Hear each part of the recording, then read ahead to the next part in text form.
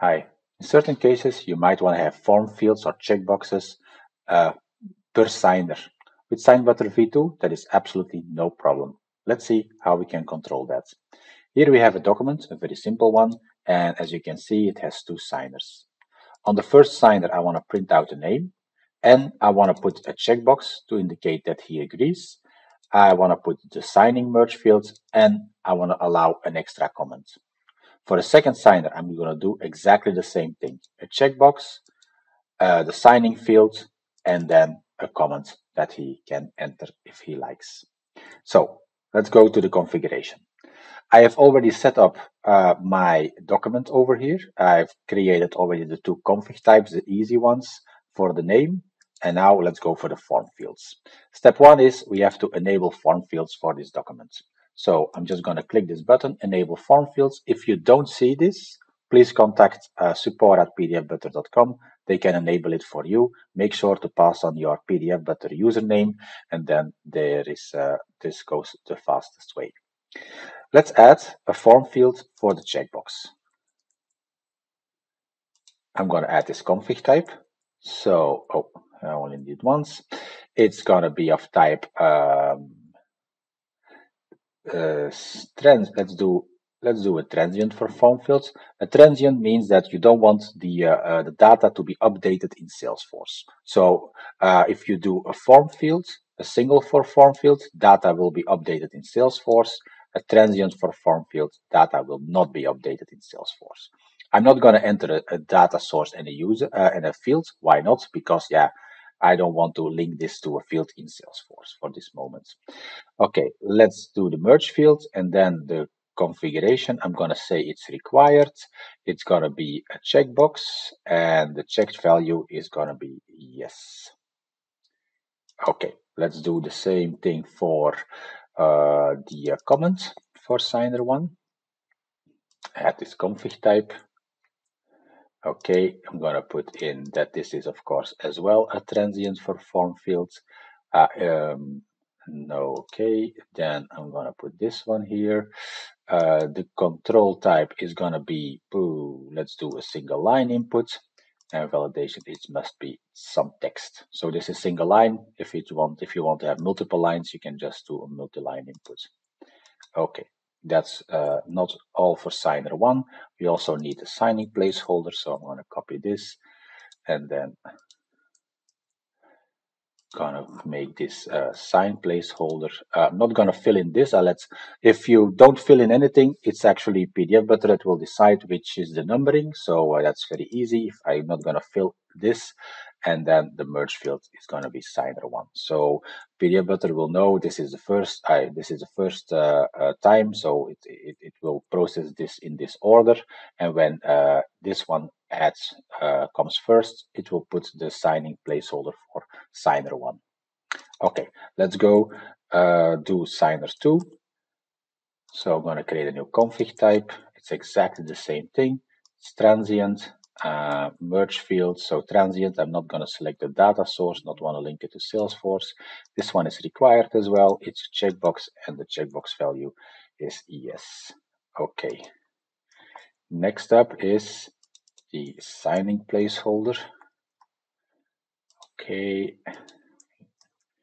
Then uh, this is also a transient. Okay, merge field. Um, the control type is a single line input and the validation is text. Okay, and now last but not least, of course, we're gonna add the, oh, I think I made a mistake. I think uh, what I just did here, signer 2, is actually the comment that I needed to put. So I'm gonna quickly change this. Okay, now everything back in order. And then go for signers 2 and on signer 2 we do this. So we're gonna say it's an uh, sign placeholder.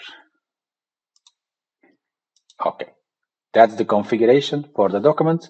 Let's uh, check it if it's actually working. So let's go to these doc configs uh, form field per signer.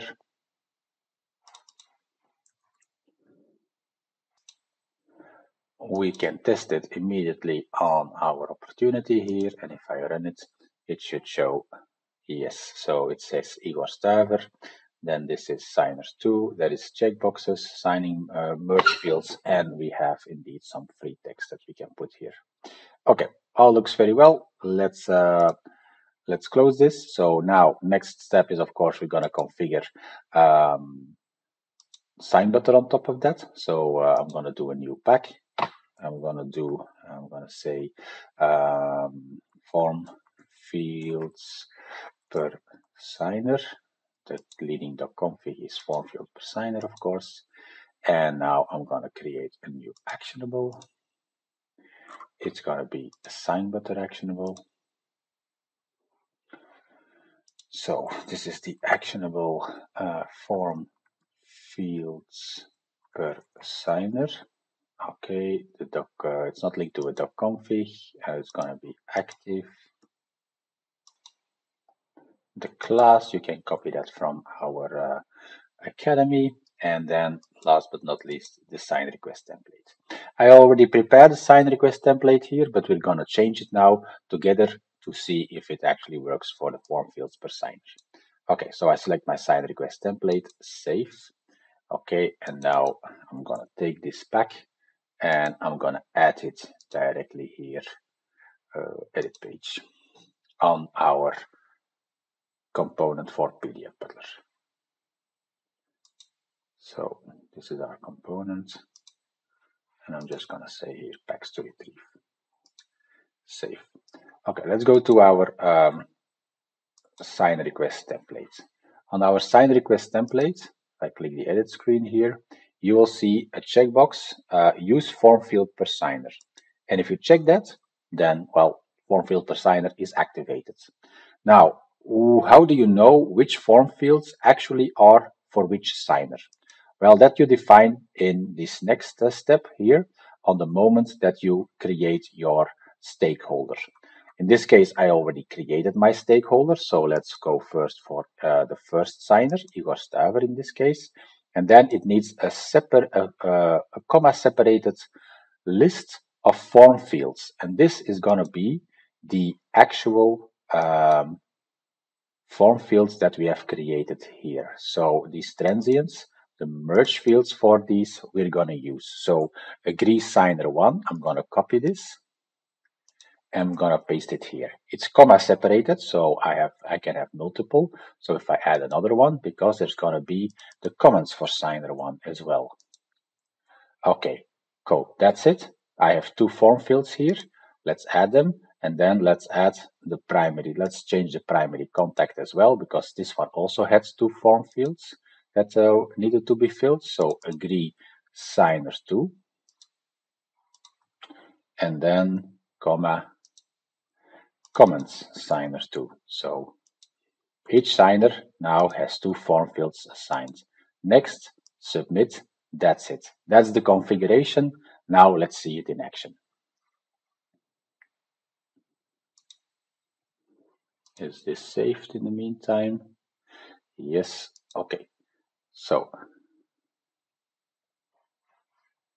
what maybe, let's go generate the document. The document still generates fine. And now I'm gonna send this out for signing. So this is gonna, well, it's already sent out for signing. Let's go to, uh, let's do a shortcut in, uh, uh, for demo uh, purposes and I'm gonna send and I'm gonna uh, sign it directly from these stamps here that uh, like I said it's demo purposes.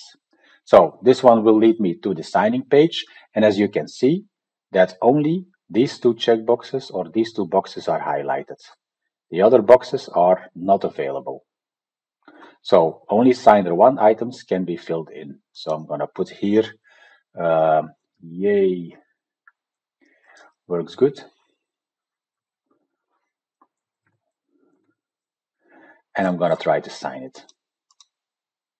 So there is an error because this one is mandatory. I need to check it. I need to agree.